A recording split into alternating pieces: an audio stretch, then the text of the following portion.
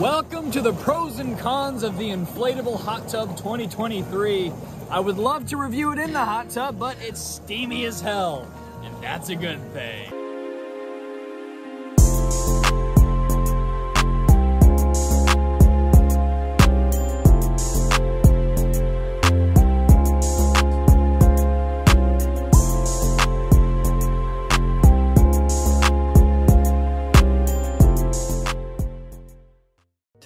To talk about the pros and cons of an inflatable hot tub. Now, I know I won't shut up on this, but it's an awesome thing that you can throw in your Airbnb or simply a budget backyard build to elevate your, well, backyard on a budget. I have owned my inflatable hot tub for about two weeks and I've compiled a pretty extensive list of pros and cons. Now, you may have seen the intro and are thinking, Greyson, why don't you do the whole video in the hot tub? And the simple reason is that the hot tub is so hot that it will immediately fog up my lens. So I actually can't really film out there because it's hot, and that's a good thing. So today we're gonna talk about the pros and cons of a daggum inflatable hot tub. If you would like some extra hot tub money, stick around for today's sponsor because it's a free online stock brokerage giving out free stocks as a one-time sign-up bonus. So if you want an extra 20, 30 bucks to put down on your hot tub, or that's enough for a net or filters or LED lights, uh, yeah, so there's a lot of little things that you can add on to your hot tub experience to make it exponentially better, especially those LED lights that you're gonna see a lot in today's video. You can find all of the things that I talk about, everything I recommend in an ordered list of Amazon links, and you can just get everything there, no problem. But Webull is going to pay you with six free stocks from their free online stock brokerage, and all you gotta do is click the link in my description, create an account, fund that account with as little as one cent. They're gonna put six free stocks into your brokerage account. You can sell it by the dip, make more money, or cash them out and buy, well, hot tub accessories. Now, first of all, if you've never heard of an inflatable hot tub, yes, they do exist, and no, they do not suck depending on who you ask. I absolutely love mine. If you're coming from my hot tub review, you know that I gave it an 11 out of 10 because, you know, the price to enjoyment is exponential. There's people who will spend 8 grand on a hot tub and love it just as much as I love my $400 hot tub. So, I really want to focus this video on the cons because everybody really likes the hot tub. Everybody on YouTube loves it. I've seen tons of content on it. And everybody loves it so much, they don't even think or care about the negatives behind it. But I think think it's extremely important for the consumer to be completely aware of all of the drawbacks before they're sold a hot tub. So we are gonna start with the pros. Now, the first pro is that it's semi-portable. You can set it up out of the box in one hour and it takes about one to two days, depending on your climate, uh, to heat it up. So it's literally, you can just drain it in a second, 30 minutes to fill it back up, and then in a day or two, it could be even 12 hours, and you're up to 104 degrees and you can hop in. So if you're staying somewhere for, you know, two weeks, it's worth draining your hot tub, bringing it with you if you have room, and setting it up. It doesn't take much maintenance or effort. So if you're a renter and not a homeowner, you can get this portable hot tub set it up and you're not fixing it to anything, you're not running any plumbing or anything crazy. You can just literally plug it into a wall outlet and you're done. The second pro is it's exceptionally cheaper to buy and maintain than a standard quote unquote brick and mortar hot tub, the traditional kind. It's so much cheaper. So let's say someone has a $20,000 hot tub and it fits 12 people. They're gonna really love their hot tub. But someone like me who has a $400 four person hot tub that is not even comparable, I probably love my hot tub almost as much as that because at the end of the day, how do you feel? I feel great in my hot tub. The floor is completely padded, so I'm comfortable. The back is totally aired up, so it's just super comfy, hot as hell, and the jets are pretty powerful. So the return on your investment when it comes to happiness is exponentially higher than spending a bunch. More. You know, if I spent 15 grand on a hot tub, I would go to bed every single night thinking I just spent a car on a hot tub when I could have gotten a $400 hot tub that's gonna last me almost as long because these things last a while. They're really, really hard to pop. If they could pop, no one would like them. The third pro is it's extremely easy to run. I put one to two one inch chlorine tablets in per week and maybe a filter per week. And that's more than some other people do. So the energy cost, I don't have an exact bill on it yet, but I've heard people say it's anywhere from $8 $20 a month at the lowest if you're in a region that keeps it warmer and it doesn't have to heat it as much. And it could be, uh, the most I've heard is like 30 bucks. And the chemicals is like another 20 bucks a month, including filters and everything else you need. So the maintenance is super low and super easy.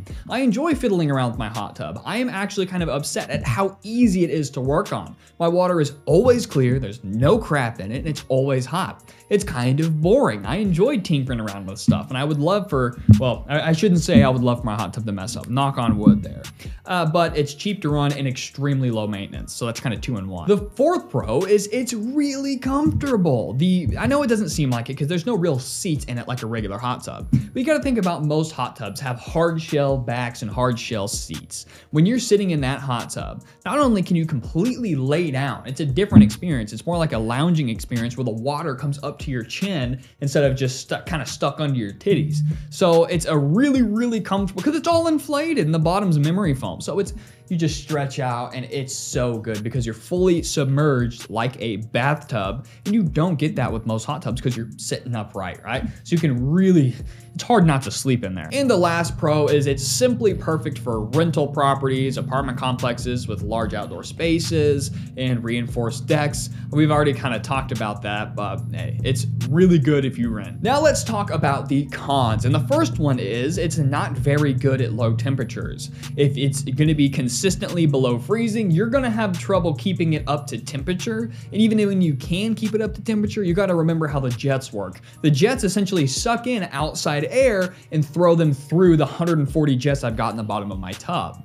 I call them more bubbles. It feels like a real hot tub jet that's about six inches away, which still feels really good, but you're not going to get the massaging kind of like uh, how the jacuzzi does the, uh, uh, with the bathtub. So the performance is not super great in low temperatures because, well, it sucks in the outside air and it puts in cold air mixed with hot water, right? So it's not exactly ideal for that. Now, there are things that you can do. You can buy cheap little things that you can build like gazebos around it, and they've got actually extra like $20 covers that kind of, they're more of an extreme weather cover. Uh, so you can definitely combat that, but I don't live in a climate region like that, so I don't have any troubles with my hot tub. And if you really want to do it on a budget, you can just get a tarp that you have and drape the tarp over the outside of the cover and then ratchet strap it, and you've got an extra layer of insulation DIY at home. This is a pretty easy problem to overcome. Another con is that the shape of mine, the square one, I think the circle ones are a lot better about this, uh, but when there's a mass amount of of rainwater, it can't drain off of the cover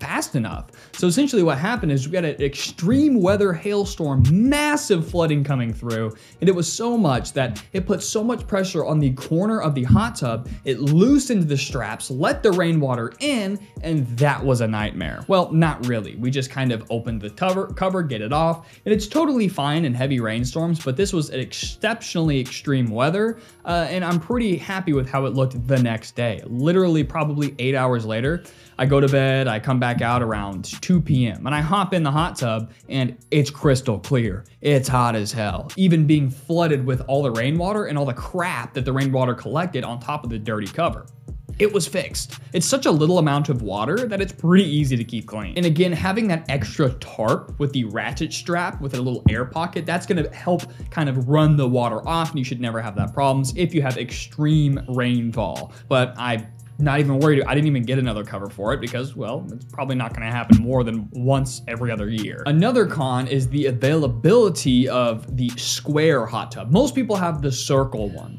but I really like the square one because, well, I'll draw you a picture. So here is my hot tub. Now it has, of course, softer edges, uh, but this is, I think, the outgoing model, the older model, therefore they're harder to find and a little bit more expensive. And here is why I prefer it over the circle because when you have a circle inside that square, you're losing about 10 to 15% of the space, and those pockets are perfect for full grown adults to sit back and have plenty of leg room. So the availability of the square one and the availability of square covers, forget about it. I thought I accidentally popped my cover, but I just didn't air it up enough, and I was looking for it, and the only cover I found for the square one, this isn't a problem for the circle one, but for the square one was $150, and it wasn't used, but it was opened up and unpacked packaged. $150 just for the bladder to replace it. Luckily, it didn't actually pop, and it comes with tons of extra little patching equipment, which is super nice. But I'm not worried about anything popping, surprisingly. I was at first. So we had four people. Uh, I'm about 6'1", and we had four adults, including myself, in the hot tub, and it was a little bit cramped. If you get the square one I have, it's advertised for about four to six people. Well, that would be four smaller adults and two children, or comfortably six children, or fairly comfortably four full grown adults if you know each other pretty well. So please don't think that you're gonna get six of your best friends in there because, well, you're just not. I mean, you might, but I don't like to touch anybody in the hot tub. So it's possible, and we do it all the time, and it's a lot of fun, but it's not going to be, of course, as roomy as a bigger hot tub. But it can kind of go as a pro, a pro because I didn't think that it would even be able to get four adults, but it did. Another thing is that the longer you run the hot tub and it sucks in more of the air outside, if it's not hot, you will lose temperature. So here's what happens to me on average. I'll hop in the hot tub once it's at 104 and I'll turn on the jets and almost within 60 seconds, it immediately sucks all that cold air in and lowers the temperature to 102. It'll sit around 102 for quite a while. I would say about 30 minutes. And then once it hits 30 minutes, it'll drop to about 100. It seems to drop in intervals of two, which is strange. So it drops to 100, and then if I stay in there for about an hour or more, then we're getting into the 99, 98 territory if it's pretty cold outside. So, for example, the other night, we were all hot tubbing for about an hour and a half, and there was an extreme cold front blowing in. So it was just pouring cold water into my pump. It was sucking in that, or cold air. It was sucking in large amounts of ice cold air, and it basically cooled it down to 93, and it was miserable after about an hour and a half. So there are situations where if you think that you're gonna hot tub in a snowstorm, I wouldn't advise against it. It's not meant for that, unfortunately. And finally, it advertises 140 jets or 100 jets or whatever model you got. They're all basically the same. They're all Bestway machines. I have a Coleman with a Bestway pump.